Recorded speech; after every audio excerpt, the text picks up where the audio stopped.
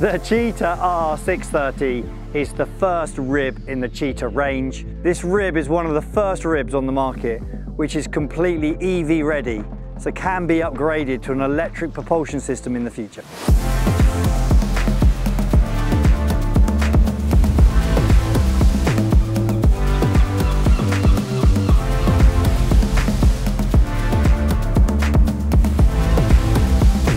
This rib has been born out of the DNA of Cheetah, which is all about efficiency, working platform, using smaller engines but still delivering performance but also offering fuel economy. Because the hull shape is really efficient, the boat is relatively lightweight, we can fit a smaller engine than normal six to six and a half meter ribs.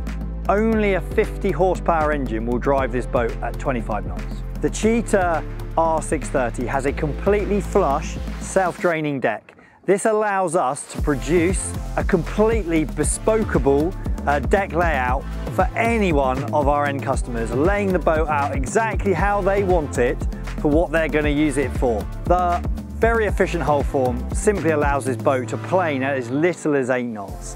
So reducing wake, making it beautiful to drive, and in the working environment, hopefully not disrupting the things that you're operating around. The hull form that we've used for this boat, which has been developed alongside RS Electric boats, is all about the efficiency, how it transitions from displacement through to planing without pushing huge amounts of water. The Cheetah offers fantastic value for money and gives the end user the option to upgrade to an electric propulsion system in the future.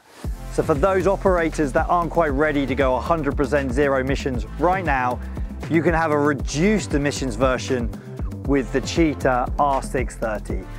Smaller engine simply means lower emissions, which is good for everybody.